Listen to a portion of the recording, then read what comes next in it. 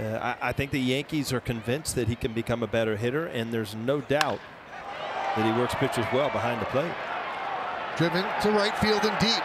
Oliva back, leaps, see ya! A home run! Higashioka goes yard the other way, and it's 4-2 Pirates.